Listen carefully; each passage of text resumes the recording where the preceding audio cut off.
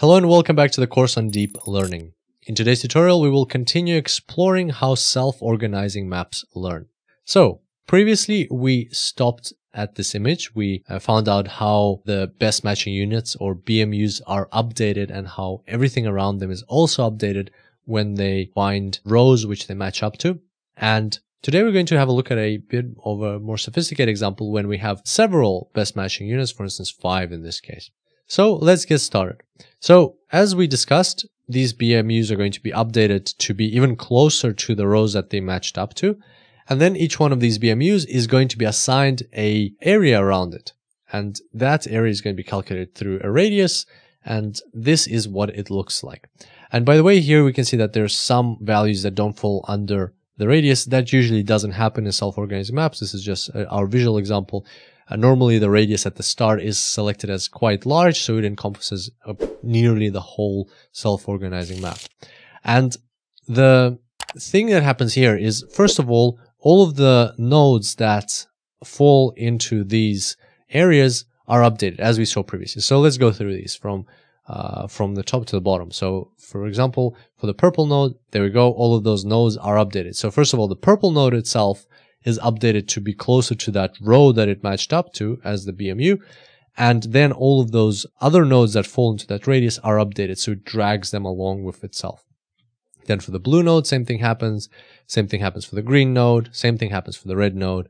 And same thing happens for the orange node. So they all are dragged closer and closer. And there's a bit of a resistance or push and pull between them because some, for instance, the blue node is dragging this row, this node that way, the orange node is dragging it that way, and the red node is dragging it that way, green node is dragging it that way. It's a bit of a battle between them, but that's normal. That's what happens in the self-organizing map. And that happens, for instance, in your uh, so you go through all of your rows in your data set and, and all of these updates happen.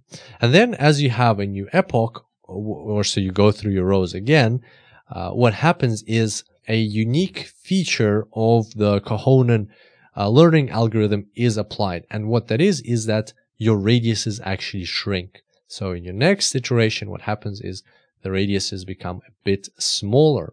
And this time, when you're going through your data set, um, your best matching units, they're actually pulling not on as many nodes in your self-organizing map. So this time only these nodes are pulled, these ones, then these ones, these ones, these ones. And then again, the radiuses shrink. And this time, these nodes uh, are pulled, these nodes are pulled, these nodes are pulled, these nodes are pulled, and these nodes are pulled. So the process becomes more and more accurate as you go through your dataset again and again and again. And if at the start you were just trying to get your whole, all of your self-organized maps very close to your data and roughly on the surface of your data, as we can see in this example. So at the start, you were just trying to get anywhere near your data. Then as you go through and through, through more and more and more uh, iterations, what happens is you are adjusting your self-organizing map in a more precise, in a more la laser specific manner. You're adjusting, okay, little edge over here, little bump over here. I need to, this needs to adjust a little bit. This needs to adjust a little bit. So you're becoming more and more specific and targeted in your approach. And that's exactly how your self-organizing map slowly but surely um, goes over your data and becomes a kind of like a mask for your data as we can see in this example over here. And so in our visual representation, what that would look like is uh, here's our data and then through lots and lots of iterations, our self-organizing map might look like something like this where there's been some battle between the different nodes and where different nodes should be assigned to. Should they be green or blue? But or purple or orange or red, and then eventually we've come to settled it to some kind of representation. So hopefully that was useful. Now you have a good intuitive understanding of how self-organizing maps work and learn. And now let's go through a couple of things that are important to remember as takeaways from this tutorial. So a couple of things that are important to know. Uh, number one, SOMs retain topology of your input set. As we could see, from the image where the map is slowly becoming like a mask of your data, your data might have some topology. There might be some interrelations in your data. Well, the self-organizing map does everything it can, it possibly can to be a uh, as close to your data as possible and become like like a mask for your data and therefore it will retain the topology of your inputs and that is very very important very valuable eh, for us in terms of understanding our data set better uh, next is that SOMs actually reveal correlations that are not easily identified. As you can imagine, if you have 20 or 30 or 50 or 100 or even hundreds of columns in your data set, it can be very challenging to assess any kind of correlations or similarities that might be present in your data set.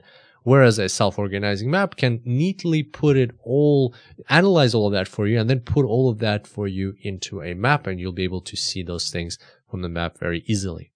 SOMs classify data without uh, supervision.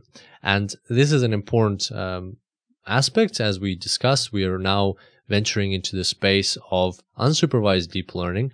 And as you can see, self-organizing maps don't actually need any labels. For instance, in convolutional neural networks, we discussed that we need to train our dataset to, in order for it to recognize objects, it has to first be told that these are cats and these are dogs. And then after lots and lots of iterations, it will know how to recognize a cat from a dog. Whereas here, we don't need any labels. We don't need any supervision. The self-organizing map will on its own extract features and very often it'll extract features which, uh, or show us features, dependencies, and uh, similarities, correlations, which we are not even expecting and therefore will be very, very surprised. So that's uh, a very important aspect of self-organized maps. They can be used in scenarios where you don't actually know what you're looking for, but you know that you want to find any kind of correlations in your data. SOMs don't require a target vector.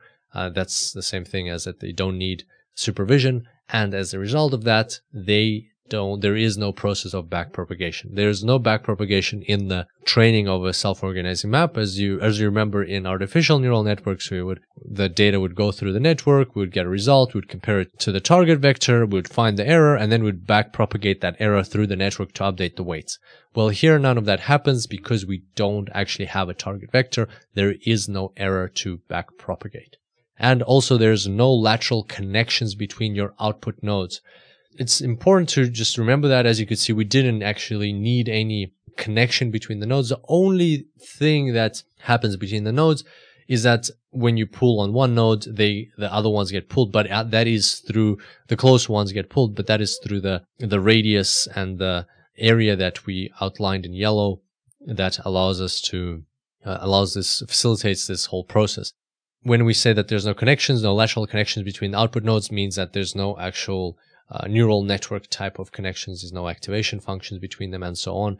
And what is important to mention is because sometimes you'll see images where the nodes are connected in the output that there there's a like a grid behind the nodes.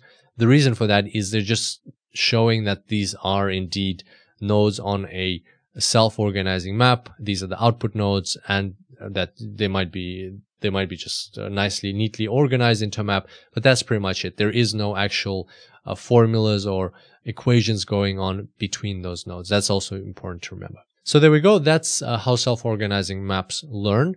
And if you'd like to uh, study this a bit more with some soft introduction into mathematics, the mathematics behind self-organizing maps, as you could see, is, is very straightforward. It's very simple. There's, there's a couple of additional things about the how the radius changes and how the uh, weights are updated based on how close on the proximity to your best matching unit.